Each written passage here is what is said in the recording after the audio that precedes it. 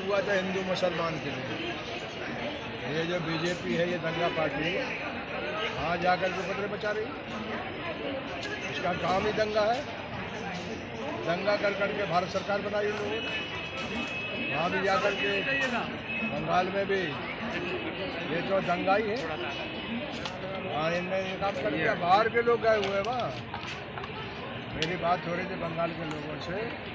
बाहर से लोग ले गए। और पीले कपड़े पहना करके।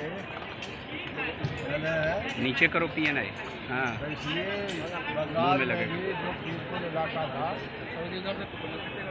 वो सर गिरिराज सिंह ने कहा है कि बंगाल में तालिबानी रवैया नहीं चलेगा ममता बनर्जी को। मंदिर पहुंचाना चाहिए। ये राजनीति के काम का आदमी नहीं है।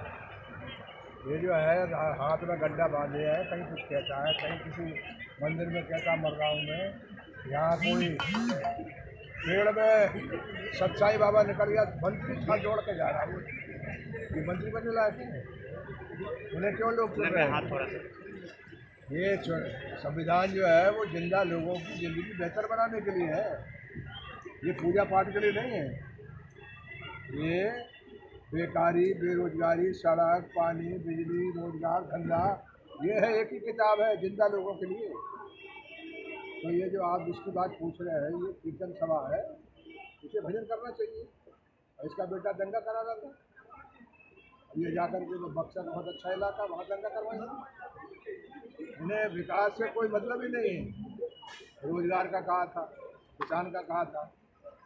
तो एक बात इनने पूरी की गंगा कहा गंगा क्या हाल है? बाहर से पैसा लाना क्या हुआ? इसको छोड़ करके जुमलेबाजी फिर कर रहे हैं। सरकार है ही नहीं। ग्यारह करोड़ लोगों ने तो महागठबंधन को बनाया था। महागठबंधन में सिर्फ़ आरजेडी और जेडीयू और कांग्रेस बची है। आरजेडी और कांग्रेस।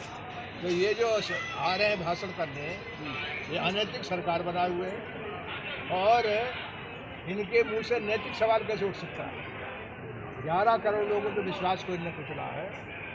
यानी आपसे वादा करूँ मैं आपसे बातचीत करूँ और एक वादा हो जाए, उसको तोड़ूं तो क्या कहोगे आप?